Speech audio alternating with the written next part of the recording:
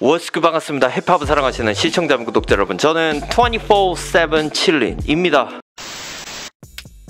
What's good? I'm 24/7 chilling. Now I'm making a reaction videos for overseas hip hop, R&B, and all the black music. And I also making a street fashion live video. If you like my channel, please subscribe, like, and notification. You already know. 24/7 chilling. 앞선 영상을 열심히 찍었는데 예 영상이 오류가 나가지고 날라가 버려서 다시 이렇게 촬영을 하고 있습니다만 텐션을 좀 올려보고 예 좀 재밌게 영상을 좀 찍어보고 싶습니다. 이번 시간에는 한국을 대표하는 최고의 힙합과 R&B를 넘나드는 아티스트이자 사업가 한국의 제이지로 불리고 있는 제이팍의 새로운 앨범 The One You Wanted 에 대한 얘기를 해본과 동시에 새로운 뮤직비디오 Give Me a Minute 피처링 청아 이 영상을 보도록 하겠습니다. 자 며칠 전에 You Wanted 제이팍의 R&B 앨범이 오랜만에 발매가 됐습니다. 제이팍의 R&B 앨범은 많은 사람들이 기대하죠. 워낙 이전의 R&B 앨범, 특히 오라 워너두 같은 곡들이 워낙 히트를 많이 쳐가지고 확실히 힙합 앨범도 인기가 많지만 제이팍의 R&B 앨범은 여심을 자극하는 앨범이기 때문에 더욱더 많이 사랑받는 것 같아요.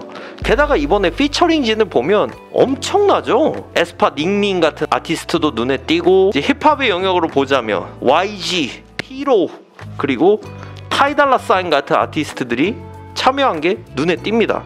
여러분들 전곡을 다 들어보셨나요? 저는 아직 다 못 들어봤거든요. 근데 이제 타이달라 사인과 YG 피로가 피처링한 트랙들을 들어보니까 아 끝내줍니다. 끝내줘요. 저는 아직도 아이폰에 All I Wanna Do 같은 이제 Jay Park의 명곡들을 즐겨 듣습니다. All I Wanna Do 같은 곡이 워낙 임팩트가 강했고 R&B와 힙합을 넘나들면서 chill한 vibe를 한국에 퍼트린 곡이었기 때문에 그때부터 좀 저는 느슨하고 loose하지만 뭔가 밝은 분위기의 어떤 R&B와 힙합을 넘나드는 곡들을 좋아하게 된 것 같아요. 이번에 Gimme A Minute 저는 2002년부터 2004년 막 그때 활동했던 R&B 가수들 생각나십니까? 뭐 어셔라든가 저스틴 팀벌레이크. 그리고 약간 2001년까지의 어떤 마이클 잭슨 같은 아티스트들의 사운드들이 생각이 났어요. 80년대의 마이클 잭슨도 좋아하는 사람이지만 마이클 잭슨의 마지막 앨범도 굉장히 좋아하거든요. 바로 Invincible이라는 그 앨범 있잖아요. 마이클 잭슨의 앨범 중에서 이제 망했다고 표현했지만 저한테는 워낙 획기적인 앨범이라고 생각했는데 그때의 vibe도 좀 있어요 예, 이 Gimme A Minute 들으면 한마디로 요즘 스타일의 R&B보다는 확실히 좀 2000년대 R&B의 향수가 난다? 저는 그렇게 봅니다. 게다가 또 같은 소속사인 청하님이 피처링을 했잖아요. 청하님의 목소리가 얼마나 녹아내릴 것 같고 좀 영롱한 느낌이 나잖아요. 지금부터 어, Jay Park의 Give Me a Minute 피처링 청하 영상을 보면서 얘기를 해볼 수 있도록 할게요. 야, 오케이, let's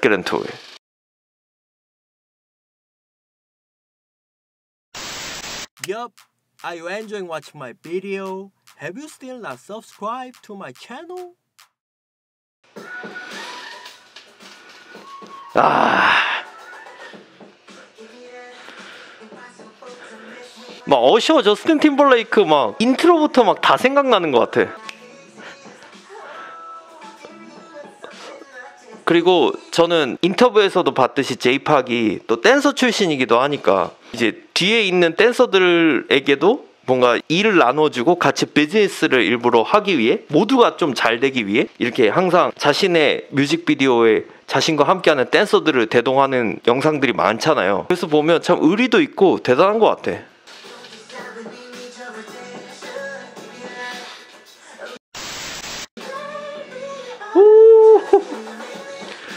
아까 베이비 하면서 가성 지를 때 어호 마이클 잭슨인 줄 알았어. 와.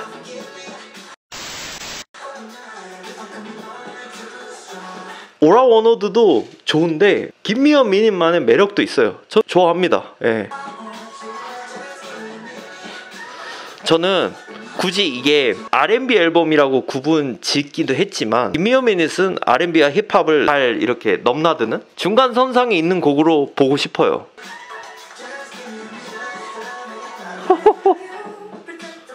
와.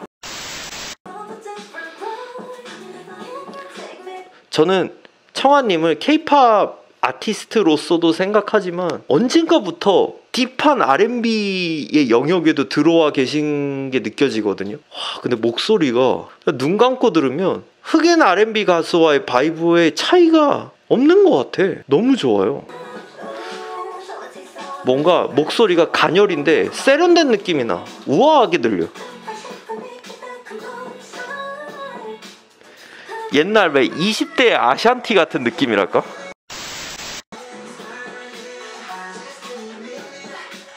이거 뱅어시시다.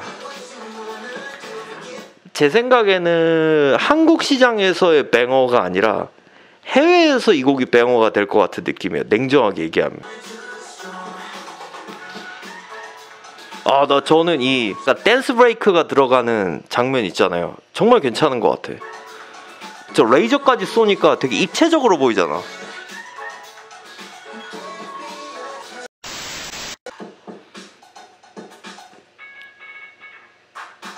어 순간 여기 파트는 마이클 잭슨이나 어셔 콘서트 같은 데서 볼 수 있었던 댄싱 장면들 있잖아요. 약간 그런 거 연상돼.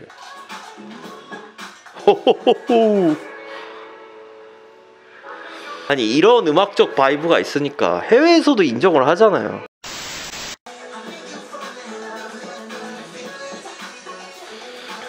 저는 Jay Park의 좀 느슨하고 뭔가 chill한 음악적인 vibe가 너무 좋아하거든요. 그냥 이 곡은 거기에다가 danceable한 느낌까지 갖춰지니까 아, 너무 환상적이야.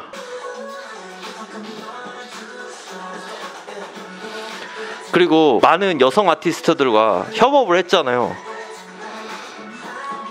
가장 청하 이분하고 피처 콜라보한 게 제일 세련되게 느껴져. 오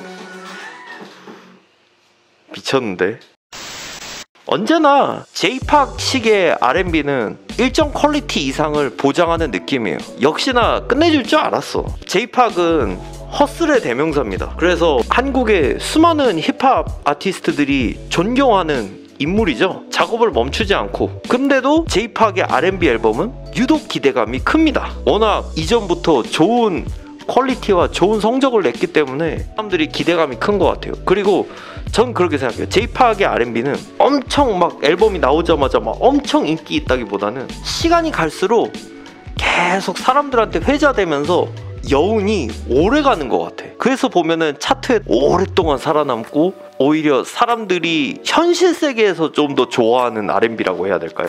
약간 그런 느낌이야. 이번 앨범도 그렇게 될 수 있을 것 같은데 아직 제가 앨범을 다 들어보진 않았지만 국내에서도 반응이 있겠지만 해외에서도는 반응이 좀 더 크게 올 것 같아요. 역시 괜히 락네이션 소속이 아니라니까요. 그쵸? 제이팍의 음악을 듣고 별로 실망했던 적이 없어서 아 이번에도 Jay Park은 항상 좋은 퀄리티를 보장하는 음악을 가지고 오는구나.